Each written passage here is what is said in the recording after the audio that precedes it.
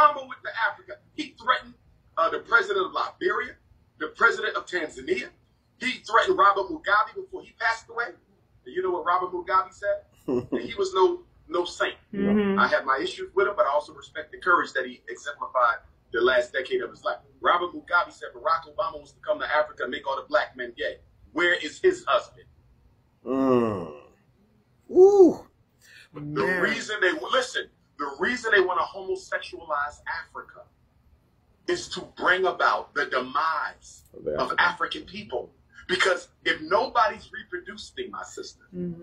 if you're not reproducing because you got a girlfriend, and I'm not reproducing because I got a husband, and he's not reproducing because he married another man, where do the new African babies come from? Where is the new African life? Where is the next generation? The LBGT agenda is not about gay liberation or gay sex or family rights. It is about the extermination of African people.